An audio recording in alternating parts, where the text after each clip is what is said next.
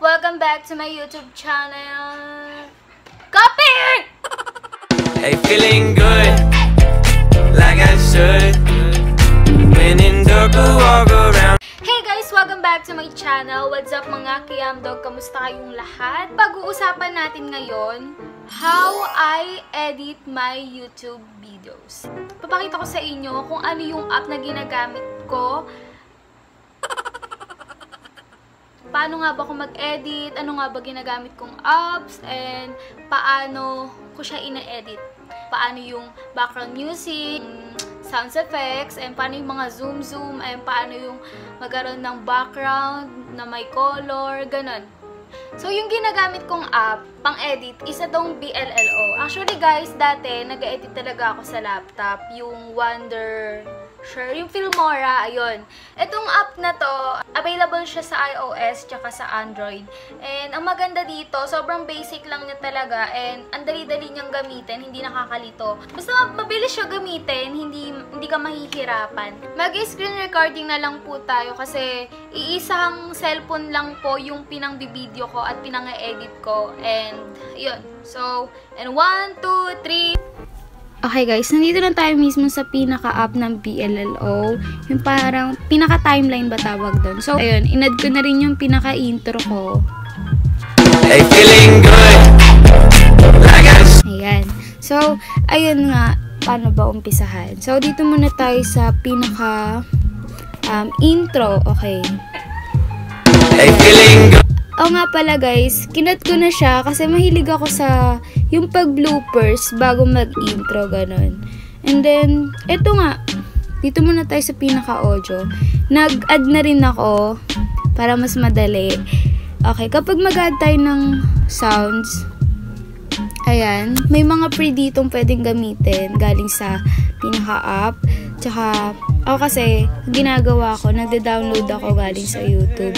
Tapos, um, ini-import ko rin dito. Tapos, um, suggest ko sa inyo na wag na wag kayo magda-download ng mga copyright kayo sa YouTube.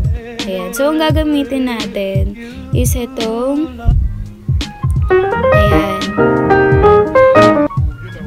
Pagka pili nyo, i-check nyo lang yon Tapos mag-add. Tapos ito na. Pupunta na dito.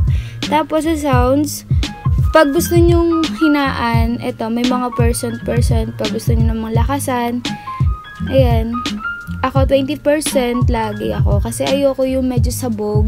Tapos ang pangit pakinggan. Tapos hindi pa marinig yung boses ko. And then, ayun, 20%. And then, pag gusto kong adjust, pag kunyari sobra, kunyari ganito. Pag sobra, i-adjust ko siya. Ganyan lang. Sobrang dali lang niya talaga. Then, yung pinaka tip naman, kunyari, pag gusto kong lakasan, ayan, pares lang din sa sounds, sa background music. Tapos, kapag gusto ko naman i-zoom, ganyan lang. Kapag gusto ko naman lagyan ng background, ganyan. And, mamimili ako ng color. Meron dito iba't ibang color. Nyari, orange. Ayan. Tapos, pag sa speed, kunyari gusto kong pabilisan. Pag gusto ko naman pabagalan. Ganun lang rin. Kapag reverse, pag gusto mong ibaliktad yung ng clip mo, tsaka duplicate. Tapos pag, ano, pag medyo may pangit na na clip ako, ini-split ko siya, tapos dinidelete ko. Ganon. Pero pag gusto nyo ibalik yung na-delete nyo, pindutin nyo lang to. Ayan, babalik siya. Sana all bumabalik. Charot lang. Ganon.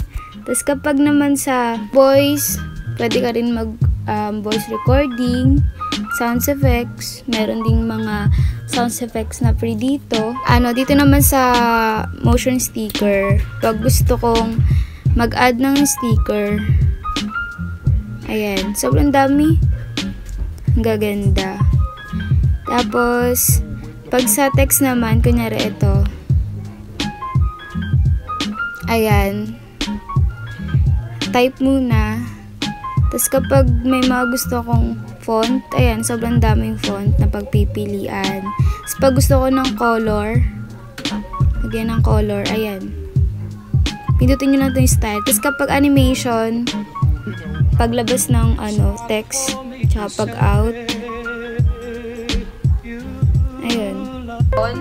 How I edit my Lagyan natin siya ng animation. how Ayun. Pati sa pag-out. Ayan, sobrang dali lang talaga niya. Tapos pag naman gusto ko ng label, wow, sana all may label. Nare, ayan. Ito. Tapos tap mo lang, tapos maglagay ka ng um, ng text. Ayan. Ang galing. Ganyan lang. Ah, delete natin. Tapos pag gusto ko naman mag, ano, lagay ng pictures. Add image. Nyari ito. Ayan, sa gilid. Ganyan lang. Animation. Pa para parehas lang din ng um, text. Ganun lang rin. Tapos pag gusto ko lagyan ng filter, yung pinaka-clip, ayan.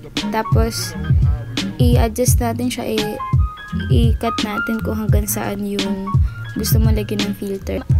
Ayan.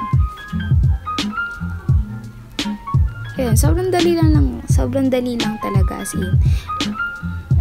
And then guys, kung gusto nyo, di ba lalo sa thumbnail, pindutin nyo lang to. Tapos, kunyari ito. Ayan, pangit ko. Wait lang. Pili ako. Kunyari ito. Ayan. Pindutin nyo lang to. Ang pangit ko naman dito. Pindutin nyo lang to. Ayan. Tapos magka-capture siya. Pwede nyo na rin pang ano yan, pang thumbnail. Para hindi kayo mahirapan mag-edit. Tapos guys, kapag naman sa animation, kunwari, like dito, pindutin mo lang to, pinaka-gitna, tapos fade. At pag-uusapan na-. Diba? Ang dali lang. So guys, that's all. Sana may naiintindihan kayo sa vlog na to. And yun nga po, sobrang dali nga lang po gamitin yung ah, BLLO na app.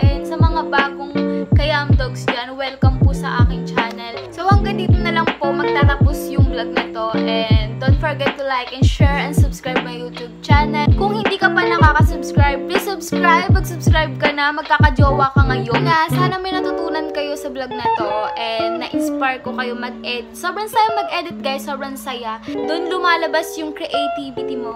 Wow, creativity. Mas doon lumalabas yung paging creative mo, lalo na sa paggawa ng video, ganun. And, ayun. That's all. Sana may natutunan kayo and na-inspire ko kayong mag-umpisa na mag-vlog. And, ayun. So, bye-bye guys. Thank you for watching.